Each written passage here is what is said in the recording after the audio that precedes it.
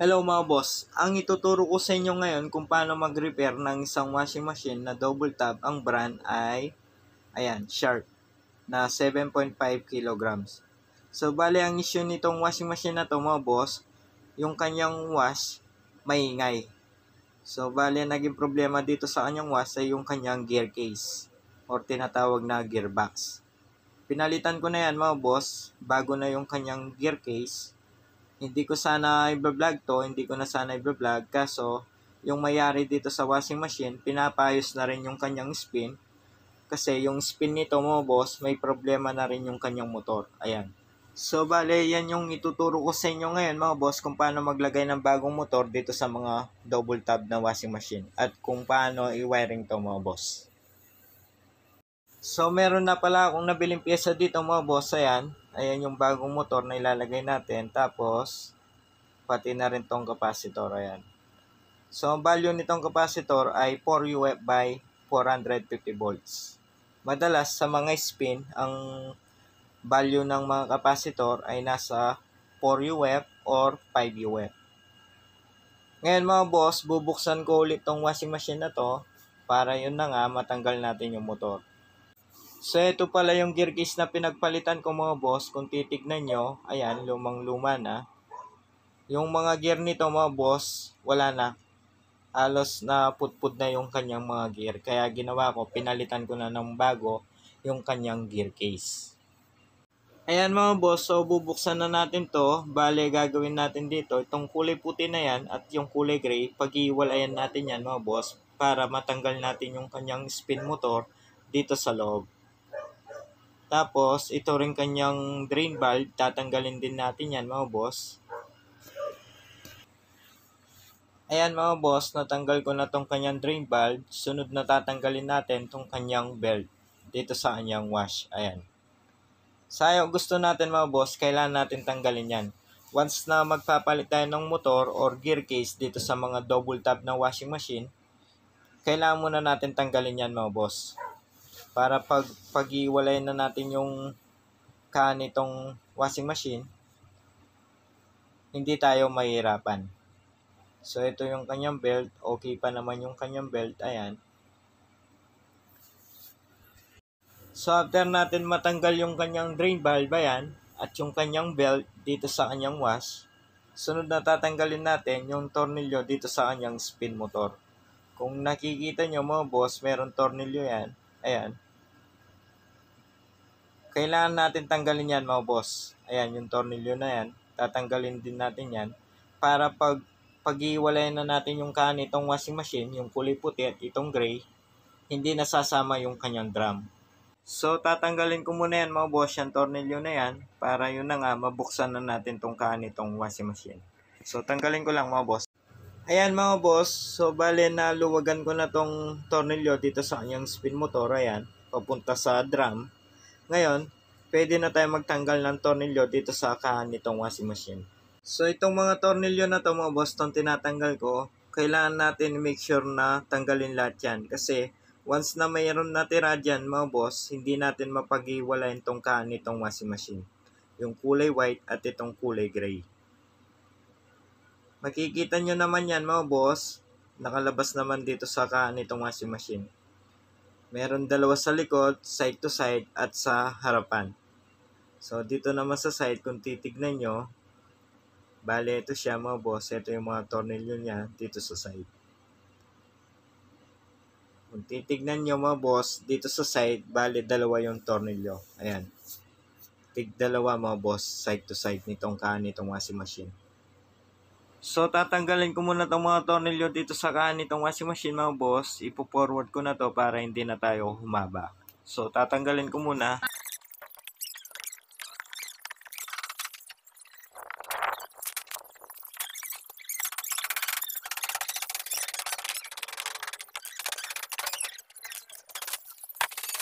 Ayan mga boss, so natanggal ko na lahat yung mga tornilyo dito sa kaan nitong washing machine. Ngayon, hilayin na lang natin mga boss para mapaghiwalay natin tong kaan nitong washing machine. So, ganyan lang mga boss.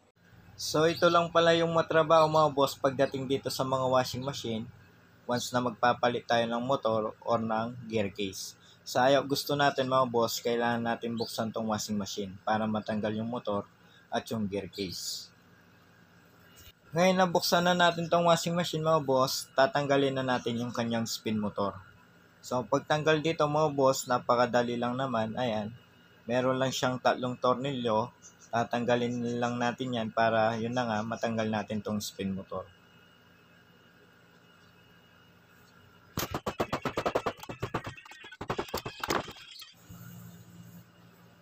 Ayan mga boss, kung napansin nyo, natanggal ko na tong kanyang spin motor.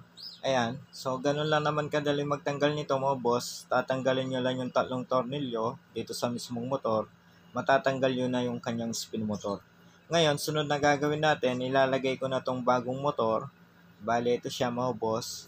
So sa mga baguan, kung titignan nyo, meron naman diagram tong mga motor na bago mga boss. Kung titignan nyo, ayan, yung mga wire niya ay red, black, and blue. Kung titignan natin dito sa diagram, ayan, yung red and black, yun yung para sa capacitor. Tapos yung blue, yun naman yung common or line 2. So, ilalagay ko na muna tong motor mga boss at iwa-wiring ko na rin.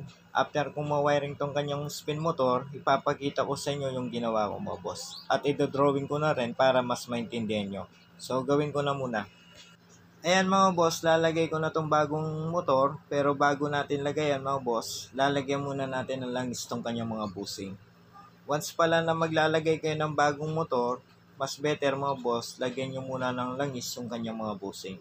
Kasi hindi natin masasabi mga boss, kahit pa nasabihin natin na bago yung motor, minsan naka-stock yan sa mga store. So, mas better na lagyan muna natin langis bago natin isalpak dito sa washing machine. Harap likod mga boss, lagyan nyo. Katulad dito sa video. Ayan. Ayan mga boss. So, ganun lang yung paglagay ng langis dito sa mga motor.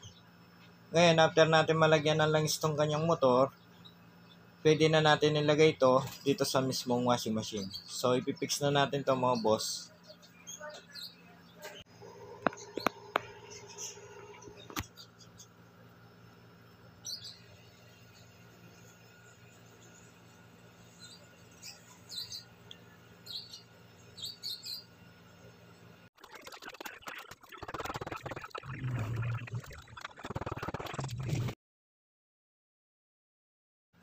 Ayan mga boss, tapos ko nang maipix yung kanyang motor. So, itong tatlong tornilyo na yan, kailangan siguro doon yung maigpit yan mga boss. Ngayon, sunod na gagawin natin, bale mag-wiring na tayo. Ito yung kanyang mga wire. Bale, gagawin ko na muna to mga boss, i-wiring ko na muna. Tapos, after kung ma-wiring to, saka ko na lang ituturo sa inyo. So, gawin ko na muna mga boss. Ayan mga boss, kung titignan nyo, tapos ko na ma-wiring tong spin motor. Kung titignan nyo, yung black and red na wire dito sa kanyang spin motor. Ayan. So, doon ko nilagay itong capacitor. Ayan. Tignan nyo mabuti mga boss. Yung kulay red na wire, meron akong nilagay na wire. Ayan, kung titignan nyo itong hawak ko. So, pumunta yan mga boss dito sa timer nitong kanyang spin. Ayan. Tapos, yung kulay blue, kung titignan nyo, pumasok dito sa power cord. So, ito yung ating power cord mga boss. Ayan. Ito yung blue. Kasama yung isang motor sa wash mga boss. Tapos, itong kabilang power cord na line, itong kulay puti na yan, yung hawak ko, pumupunta yan mga boss sa timer. Sa timer ng dryer at sa wash. Tapos, bumalik lang ito yung kulay violet. Kung titignan nyo, dinugtungan ko lang. Pumasok ito dito sa capacitor na kulay red.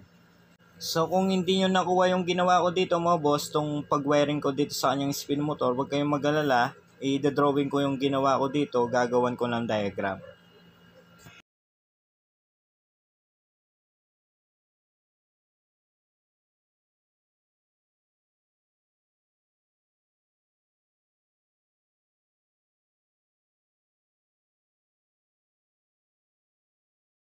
Ngayon tapos na tayo sa wiring nitong kanyang spin motor mga boss. So ito tatanggalin ko lang to dito sa kanyang drum tapos lalagay ko dito sa mismong motor nitong kanyang spin.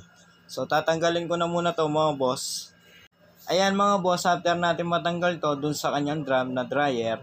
So ilalagay lang natin yan mga boss dito sa bagong motor na spin. Kung titignan nyo pala mga boss, may ukay to, ayan. Itong ko na plastic na kulay puti, titignan nyo rin. So isisentro lang natin yan mga boss. Tapos after natin may pasok yan, saka na natin ilalagay dito sa bagong motor na spin. So pupukpukin ko lang mga boss, ayan, kung titignan nyo, dapat nakasentro yan para pumasok.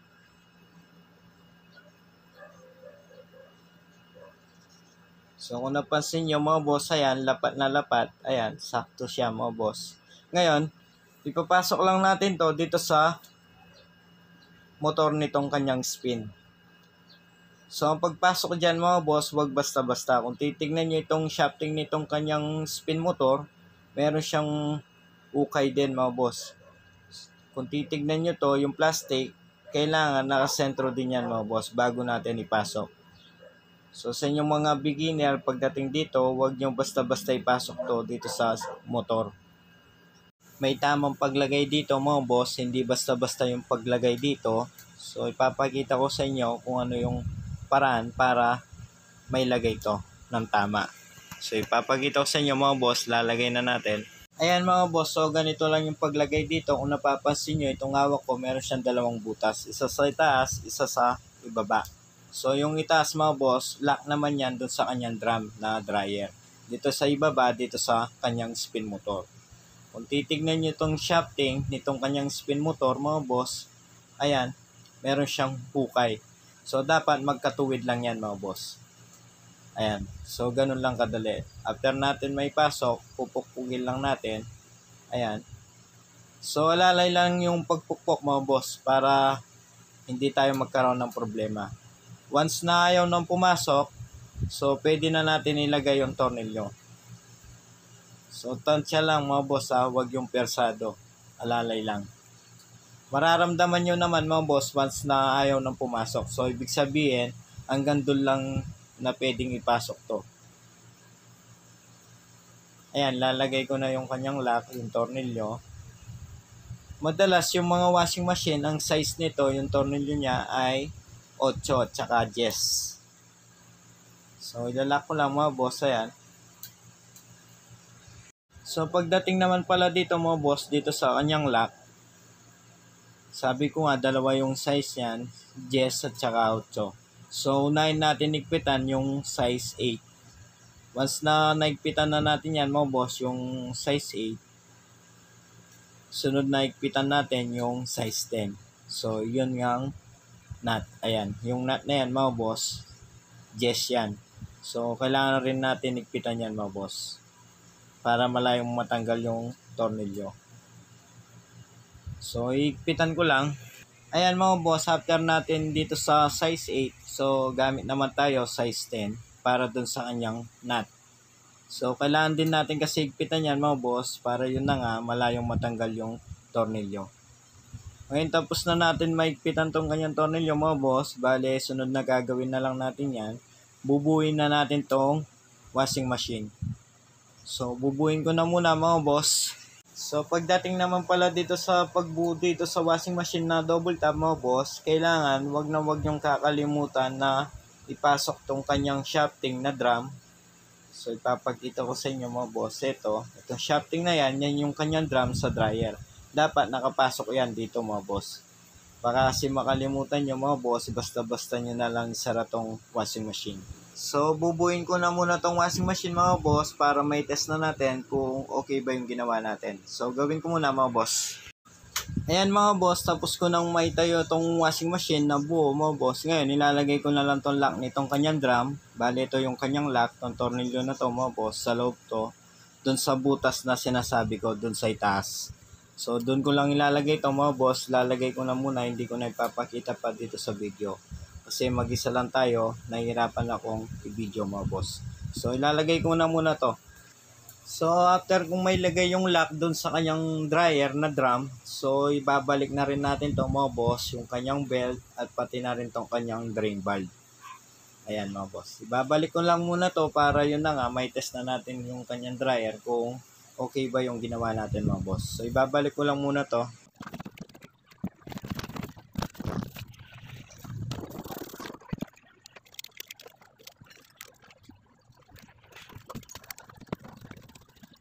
Ayan mga boss, after natin mabutong washing machine at mailagay yung mga dapat na ibalik. So itetest na natin to. Bago natin i-plug sa outlet mga boss, ayan yung kanyang plug. I-test muna natin sa tester. Tignan natin kung meron ba tayong makuwang continuity. Kung napansin nyo, nasa yung tester sa times 10. Pwede naman sa times 1 mga boss, okay lang naman. Continuity lang naman yung kinukuha natin dito.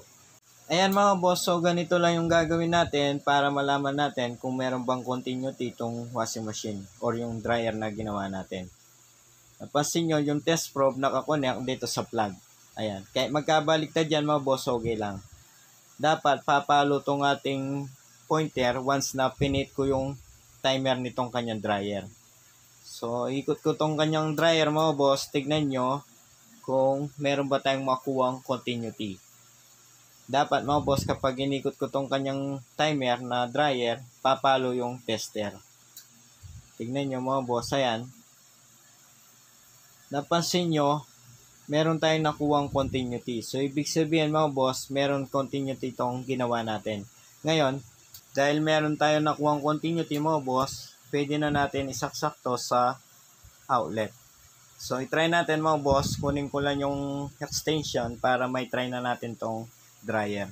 So, kunin ko lang. Ayan mga boss, so itatry na natin to. Tignan natin kung gagana ba tong ginawa natin dito sa kanyang dryer. Napansin nyo, naka-plug na. Ikot natin yung kanyang timer. Ayan. Ayan mga boss, kung napapansin nyo, gumagana na tong kanyang dryer. So, bubuksan ko mga boss para mas makita nyo. Ayan. Nakita nyo mga boss, gumana na tong kanyang dryer. So, ganun lang kadali mga boss kung paano magpalit ng motor or mag-wiring dito sa kanyang spin dryer dito sa mga double tab na washing machine. So, bale, gagawin ko na lang yan dito mga boss. Isasara ko na lang to, ipipix ko na lang. Lalagay ko na lang yung kanyang mga tornilyo. Tapos, konting linis, papakuha na natin.